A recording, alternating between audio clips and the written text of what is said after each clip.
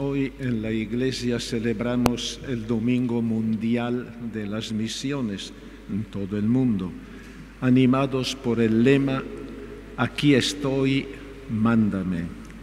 El Papa Francisco en su mensaje nos dice que la llamada a la misión, la invitación a salir de nosotros mismos por el amor de Dios y del prójimo, se presenta como una oportunidad para compartir, servir e interceder. Y la misión que Dios nos confía a cada uno nos hace pasar del yo temeroso y encerrado al yo reencontrado y renovado por el don de sí mismo. También el Papa nos dice que la celebración de esta jornada significa reafirmar cómo la oración, la reflexión y la ayuda material de sus ofrendas, de nuestras ofrendas, son oportunidades para participar activamente en la misión de Jesús en su iglesia. La caridad que se expresa en la colecta de las celebraciones litúrgicas del tercer domingo de octubre tiene como objetivo apoyar la tarea misionera realizada en mi nombre por las obras misionales pontificias. ¿Para qué? Para hacer frente a las necesidades espirituales y materiales de los pueblos y las iglesias del mundo entero y para la salvación de todos.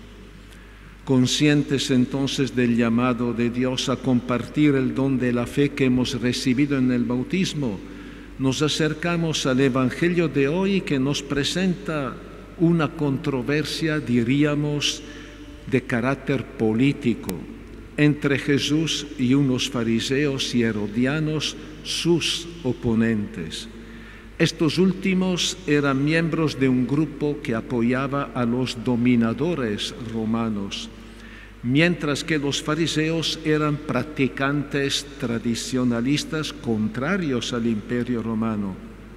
Los dos grupos, a pesar de ser enemigos entre ellos, se habían aliado para sorprender a Jesús. Ellos inician el diálogo con un halago a Jesús.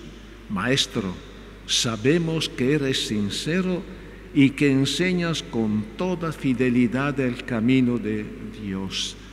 Sus palabras suenan falsas y buscan congraciarse con Jesús y hacerlo caer en una trampa, pero no se dan cuenta que están diciendo una gran verdad. Evidentemente Jesús es el Maestro sincero que enseña el camino de Dios y no un oportunista que busca su propio interés y el aplauso de la gente. A continuación ellos lanzan la pregunta clave. ¿Está permitido pagar el impuesto al César o no? Al dominador, en otras palabras. Jesús, descubriendo su actitud maliciosa detrás de la pregunta, los desenmascara. Hipócritas, hipócritas. ¿Por qué me tienden una trampa? En efecto, si él responde que no está permitido pagar los impuestos, los herodianos lo denunciarán a las autoridades romanas como un subversivo y si responde que está permitido, los fariseos volcarán al pueblo en su contra porque colaborador del imperio.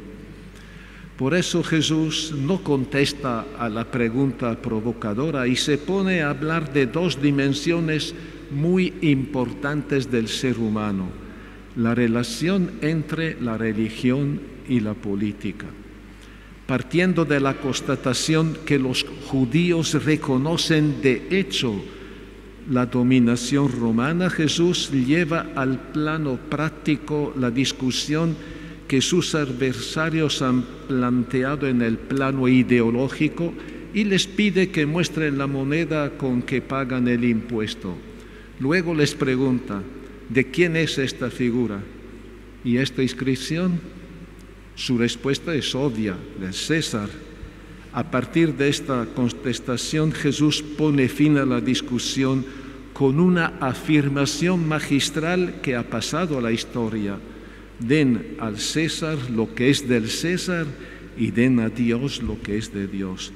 Jesús no acepta la alternativa o Dios o el César, sino que pone las cosas en su justo lugar. Si ellos se portan como súbdito del imperio, gozan de sus servicios y manejan su moneda, tienen que devolver al César lo suyo, cumpliendo con las obligaciones respectivas y pagando los impuestos. Pero de la misma manera ellos deben tener bien claro que sigue válido e ineludible el principio de dar a Dios lo que a Él solo le compete, es decir, reconocerlo como único Dios y Señor, a quien hay que amarlo por encima de todas las cosas. A esta afirmación de Jesús se les ha dado innumerables interpretaciones. Entre ellas me refiero a una visión de Estado laicista que relega a la Iglesia y a los agentes de pastoral a la esfera privada, a la sacristía y a los templos. Según esta idea, la problemática de orden social y político es de competencia exclusiva de los políticos y gobernantes. Este enfoque vulnera la vocación de la Iglesia enviada por Cristo a anunciar el Evangelio, del que es parte indisoluble el desarrollo humano integral, la promoción humana. Es lo que reafirma el Papa Francisco en el mensaje de esta jornada que hemos escuchado al inicio. La Iglesia, sacramento universal del amor de Dios para el mundo, continúa la misión de Jesús en la historia, no en las nubes, en la historia, y nos envía por doquier para que a través de nuestro testimonio de fe y el anuncio del Evangelio, Dios siga manifestando su amor y pueda tocar y transformar corazones, mentes, cuerpos, sociedades y culturas en todo lugar y tiempo. Por eso, cuando la Iglesia se compromete con la vida de las personas, la sociedad, la cultura, la economía y la política, solo está siguiendo el ejemplo y el mandato de Jesús, que pasó su vida haciendo el bien, anunciando la buena noticia a los pobres, denunciando las injusticias, sanando a enfermos, perdonando a pecadores y liberando a los poseídos por espíritus malignos.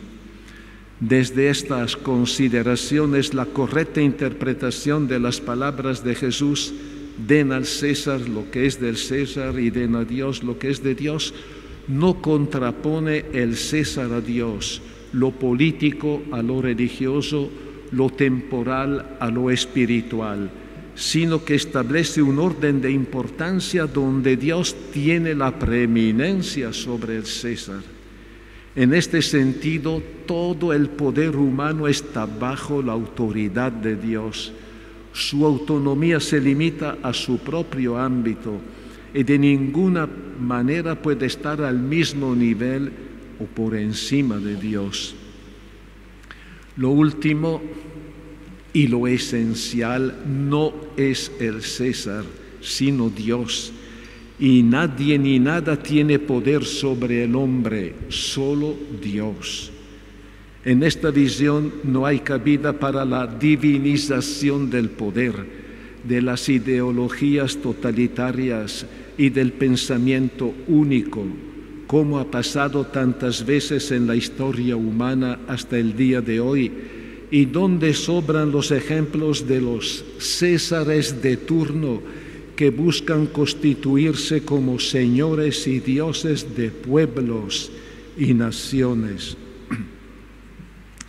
En el caso que el poder político se extralimite y quiera sustituirse a Dios, imponiendo su poder sobre la persona humana, entonces la Iglesia y los cristianos tenemos el deber de denunciar y de rebelarnos, siguiendo el ejemplo del apóstol Pedro, que ante las autoridades judías que le prohibían predicar en el nombre de Jesús, respondió, hay que obedecer a Dios antes que a los hombres.